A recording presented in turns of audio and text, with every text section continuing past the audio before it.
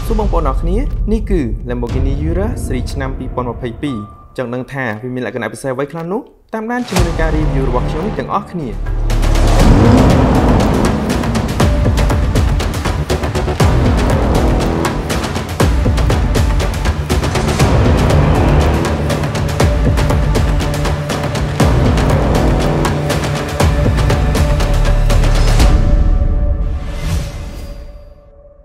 Lamborghini Urus ត្រូវបាន design ចេញពី prototype vehicle ឬរថយន្តគំរូចំនួន2សំខាន់សំខាន់តែបើយើងនិយាយអស់ទៅវាមានរហូតដល់4រថយន្តគំរូឯណោះដូចជា Lamborghini Countach, Lamborghini Chiara, Lamborghini LMO1 និង Lamborghini LMAO2 យកបទពិសោធន៍ពី Chiara, LMO1, LMAO2 បង្កើតចេញជា Lamborghini LMO2 វាជាប្រភេទរថយន្ត off-road ផលិតបាន328គ្រឿងសម្រាប់ប្រើប្រាស់នៅក្នុងវិស័យយោធាអញ្ចឹងតួអង្គពីរសំខាន់ដែលបង្កើតឲ្យចេញជា Lamborghini Urus នោះគឺ Lamborghini Countach និង Lamborghini LM002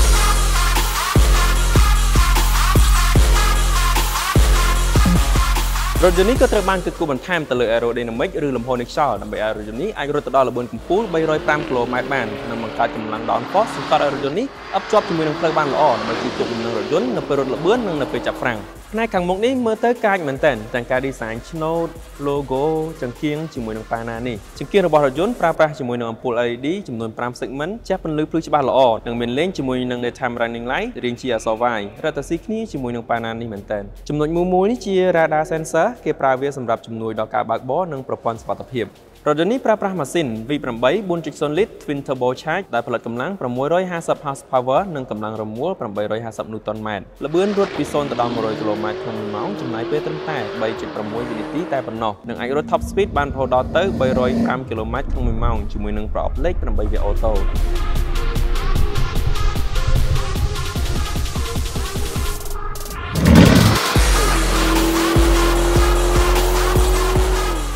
កាមេរ៉ាជាប្រភេទ 3D មួយជុំរថយន្តចំណែកឯ sensor ខាងមុខនេះ6គ្រាប់និងខាងក្រោយ6គ្រាប់ sensor វាមានសារៈសំខាន់ច្រើនបងប្អូនអរគ្នាដូចជាការបើកបរនៅលើដងផ្លូវនិងការចូលចំណតជាដើមវានឹងស្រ័យប្រាប់យើងនៅពេលដែលរថយន្តរបស់យើងគៀកទៅនឹងរបស់អ្វីមួយដើម្បីឲ្យយើងប្រុងប្រយ័ត្នចូលមកផ្នែកជំហាននេះយើងឃើញថារថយន្តនេះបានបំពាក់មកជាមួយនឹងចានស្ពណ៌ទំហំ23អ៊ីងហើយនៅខាងក្នុងនេះជាប្រភេទ Frank នេះធ្វើឡើងពីកាបូនសេរ៉ាមិកវាធន់ជាមួយនឹងកម្លាំងកកិតធន់ជាមួយនឹងកម្ដៅនិងឆាប់ត្រជាក់វិញផងដែរ នៅខាងក្នុងនេះក៏មានបំពាក់មកជាមួយនឹងបច្ចេកវិទ្យា ABS ដើម្បីបញ្ឈប់រថយន្តពីល្បឿនកំពូលមកសូន្យវិញបានដោយសុវត្ថិភាពចំពោះបូមរបស់រថយន្តនេះបានបន្ថែមមកជាមួយនឹង Air Suspension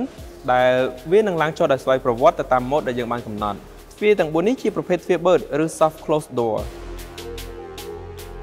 ការ design នៃផ្នែកខាងក្រៅនេះក៏មានបន្ថែមនៅអក្សរ Lamborghini មួយបន្ទាត់ផងដែរចំណែកឯ stop នេះវិញគឺមិនចោលជាមួយនឹងអក្សរ Y ទេមើលពីខាងណាទៅក៏ឃើញកាចដែរផ្ទៃដាក់អីវ៉ាន់នៅផ្នែកខាងក្រៅនេះគឺទូលាយល្អអាចឲ្យបងប្អូនដាក់អីវ៉ាន់បានយ៉ាងងាយស្រួលហើយក៏មានបន្ថែមនៅប៊ូតុង2សម្រាប់ឲ្យបងប្អូនចុចទម្លាក់និងដំឡើងបូមរបស់រថយន្តផងដែរអញ្ចឹងវាផ្ដល់ភាពងាយស្រួលនៅក្នុងការលើកអីវ៉ាន់ចូលទៅក្នុងរថយន្តនៅត្រង់នេះក៏មានបន្ថែមនៅរុនភ្លើង 12V ដែលឲ្យបងប្អូនប្រើប្រាស់បាន រថយន្តនេះបំពាក់នឹងស៊ីម៉ាំងភ្លោះ4ស៊ីម៉ាំងមួយខាង2ដែលអាចស្រែកឲ្យគ្រប់គ្នាក្រឡេកមកមើលយើងបានឥឡូវយើងមកស្ដាប់សម្លេងវាទាំងអស់គ្នា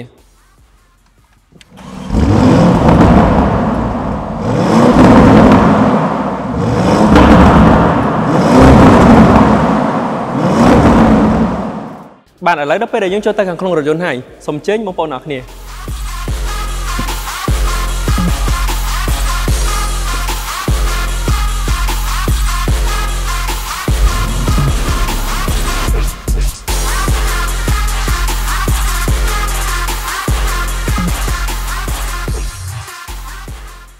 ការ design នៅខាងក្នុងរថយន្តនេះសម្រាប់ខ្ញុំគឺឥតខ្ចោះហ្មងទាំងការរៀបចំសម្ភារៈទាំងថ្នេរដេរទាំងការអ៊ុតស្បែកគឺរៀបរយខ្លាំងមែនតើ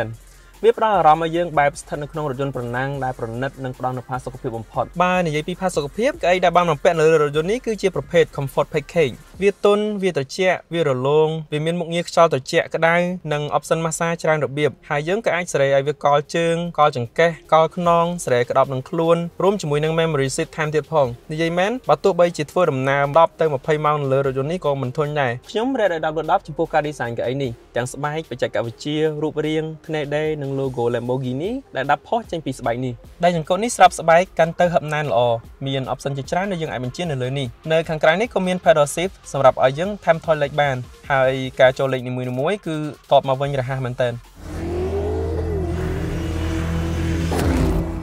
ខ្ញុំសូមបង្ហាញបងប្អូនអរគ្នាអំពីប្រអប់លេខនេះបន្តិចអក្សរ M នេះគឺ manual mode សម្រាប់ប្រើលេខដៃអក្សរ P នេះគឺ park សម្រាប់ចូលចតរីឯអក្សរ R នេះគឺ reverse សម្រាប់ថយក្រោយអញ្ចឹងយើងចូលវាដើម្បីចូលវាបានយើងចុចជើងជន់ហ្វ្រាំងហើយយើងទាញមកក្រោយមួយមកគឺវាចូល O ហើយហើយសួរថាធ្វើម៉េចទៅចូលលេខ D និងលេខ N បាន ដើម្បីចូលលេខ D បានគឺយើងចុចជន់ហ្វ្រាំងហើយចុចនៅលើ pedal shift នេះខាងណាក៏បានដែរអញ្ចឹងវាចូលលេខ1ហើយនេះឥឡូវដើម្បីចូល manual mode បានយើងអាចចុចមួយទៀតនៅលើ pedal shift នេះឬមួយក៏យើងអាចចុចនៅលើនេះក៏បានដែរអញ្ចឹងយើងចូលពេលវិញហើយសួរថាធ្វើម៉េចទើបយើងអាចចូលលេខ n បានដើម្បីចូលលេខ n បានគឺយើងជន់ frank ហើយចុចនៅលើ pedal shift ទាំងពីរនេះស្មើគ្នាមកគឺវាចូលលេខ n ហើយ ខាងនេះគឺជា option សម្រាប់បើកបរទៅតាមស្ថានភាពផ្លូវទាំង on road និង off road ដែល Lamborghini ឲ្យឈ្មោះថា Anima ឬវិញ្ញាណខាងលើគេនេះគឺ Strada សម្រាប់បើកបរនៅលើផ្លូវធម្មតាដែលវាផ្ដល់នូវផាសុកភាព Sport ធ្វើឲ្យរាល់ដំណើរការរបស់រថយន្តឆ្លើយតបលឿនជាងមុននិងរហ័សរហួន Corsa ជាម៉ូដសម្រាប់ប្រណាំងវាធ្វើឲ្យម៉ាស៊ីនបញ្ចេញកម្លាំងអស់ពីលទ្ធភាព Max Performance Engine Sabia សម្រាប់បើកបរនៅលើផ្លូវខ្សាច់ Terra សម្រាប់បើកបរនៅលើផ្លូវ Off Road Neve សម្រាប់បើកបរនៅលើផ្លូវរអិល ខាងនេះវិញគឺ Ego វាជាមុខងារផ្លូវកាតមួយឬក៏យើងអាចនិយាយបានថាវាជា individual mode ដែលអាចឲ្យយើងកំណត់ទៅតាមចំណូលចិត្តរបស់យើងបានដូចជាការកំណត់ traction ដូចជាការកំណត់ចង្កូតដូចជាការកំណត់បូមអញ្ចឹងនៅពេលដែលយើងកំណត់ហើយយើងគ្រាន់តែទាញមួយបែបនេះមកវានឹងចូលម៉ូដដែលយើងបានកំណត់ភ្លាមនៅត្រង់នេះមាន cup holder ចំនួន2ដែលបងប្អូនដាក់ភេសជ្ជៈឬក៏កែវបានហើយចំពោះខាងក្នុងនេះវិញមានឧបករណ៍សាក់ថ្មដូចជា wireless charge និង USB Type C ចំនួន2 ហើយ sound space មួយចំនួនដែលបងប្អូនអាចបានបានផងដែរនៅខាងក្នុងនេះវិញមានរន្ធដល់ភ្លើង socket 12V ចំនួន2ផងដែរដំបូលខាងលើនេះគឺយើងអាចបើកមកល្វែងទៅដល់ក្រោយដើម្បីស្រូបយកខ្យល់អាកាសបាន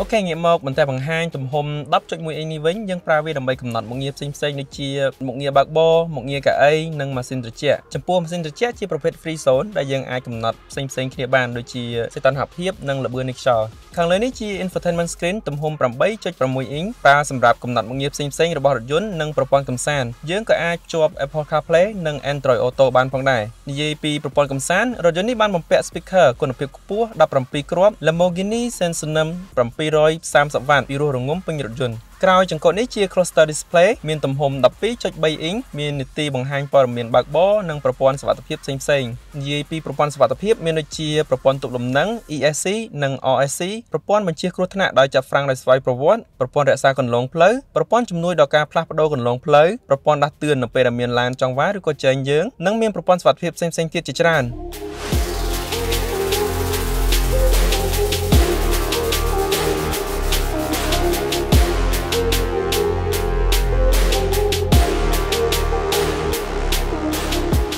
ហើយនៅខាងមុខនេះក៏មាន head up display សម្រាប់ឲ្យបងប្អូនងាយស្រួលនៅក្នុងការមើលព័ត៌មាននៅលើកញ្ចក់នេះតែម្ដងឥឡូវយើងបញ្ចប់ផ្នែកខាងមុខនេះប៉ុណ្ណឹងហើយយើងទៅឆែកមើលផ្នែកខាងក្រោយថាតើមានអ្វីពិសេសខ្លះទៀត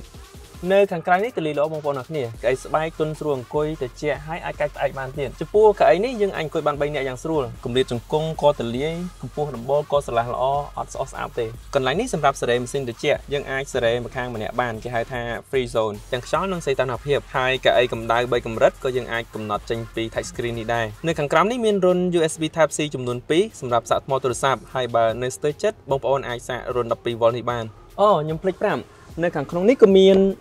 cup holder ចំនួន2ដែលអាចឲ្យបងប្អូនប្រើប្រាស់បាន